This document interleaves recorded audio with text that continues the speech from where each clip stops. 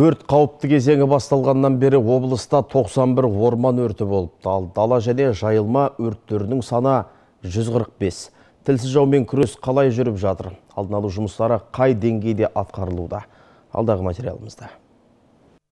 Сәуірдің бірінен бастап елді мекен аумақтарында 287, саяжайларда 70 рет өрт болыпты. Тек соңғы аптаның өзінде облыс аумағында 15 орман өрті және дала массивтерінде 7 өрт тіркелген. Мәселен, материалдық техникалық жарақтандырылуы стандартқа сай келмейтін үрлітіп орман шаруашылығында 5 дала өрті болған положен три лесные пожарные станции. Үш орман станциясының біреуі ғана бар. Бақылау мұнарасы да үшеу болу керек еді. Тек біреуі ғана бар. Автоцистерна жетеу болу керек. Алайда екеуі ғана бар. Имеется одна. Үш ай бұрын 28 мектепте өрт болып оқу ордасы айтарлықтай зардап шеккен еді. Қазір уақытта ол оқиғаға байланысты тергеу жалғасуда. Предварительную причину как мы и алдын ала болжам сымдардың қысқа тұйықталуы. Қазір электрлік сараптама жүргізілуде нәтижесін күтеміз. Содан кейін негізгі себеп анықталған соң осы құқық бұзушылыққа жол берген тұлғаларға қатысты шаралар қабылданады. экспертиза ну соответственно мы ждем их результаты. Спикердің айтуынша облыстың барлық мектептері арнайы тексеруден өткен. Үш мыңға жуық заң бұзушылық пен ескерту жасалыпты. Бұл өткен жылмен салыстырғанда қырық пайызға аз. Бірақ әлі де заң бұзушылықтар бар. Чаще всего это ең негізгі ескерту мектептерде өртті автоматты түрде дер кезінде ескертіп эвакуациялау жүйесі әлсіз деп айтуға болады. Олардың көпшілігі жұмыс істемейтін жағдайда. Өрттің тез таралмауына ықпал ететін қорғаныс құрамы әлсіз. Сосын электр сымдарын сараптамадан өткізу жөнінде және өрт автоматикасы жүйесін жасалған келісімшарттар жоқ. Жоқ.